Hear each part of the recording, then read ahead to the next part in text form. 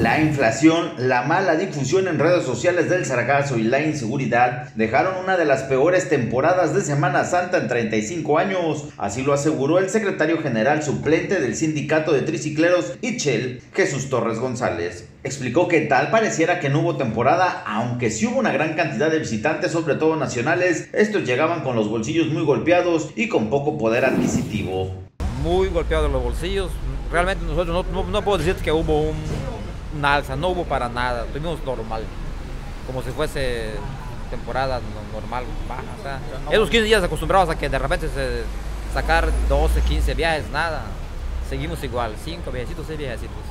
Okay. Sí, no hubo un repunte. Oye, y la expectativa para lo que viene, ahorita ya viene ya temporada baja, ¿no? Sí, mayo, junio viene más bajo todavía. Sí. Y ya, este, ¿qué, qué, las expectativas para diciembre? Pues esas cosas fallan porque nos habían dicho que las expectativas para iban a ser buenas porque antes de, de que empiece la Semana Santa estaba por, o sea, había expectativas, pero no, realmente no. Ni los barcos llevaron tanta gente y todo como se pensó. ¿Y a qué crees que se haya debido esta, esta mala, mala racha, esta mala temporada? Siento que puede ser la, la economía, todo es más caro.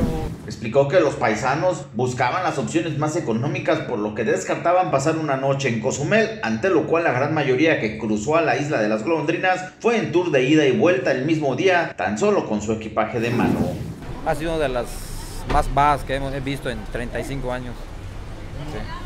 ¿Por, por qué? ¿A qué se dio bueno, en, es, en especial para nosotros casi no hubo movimiento de, de maletas, de equipaje más que nada creo que la gente ya no, ya, ya la gente que va a la isla ya nomás entra de, de tour y sale en la tarde. Ya sabe que ya el equipaje ya es muy poco.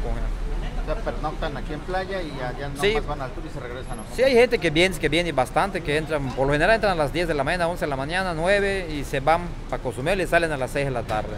Y van nomás con su ropita, su, su toalla y ya son tours contratados. Es poca la gente que realmente viene suelta como hace años que venían en vanes, bajaban maletas, se bajaban para allá, no, ya no, casi no. Se quedaban días allá, ¿no? Sí, mayormente hoy en día pues buscan lo más rápido, lo más, creo que lo más económico.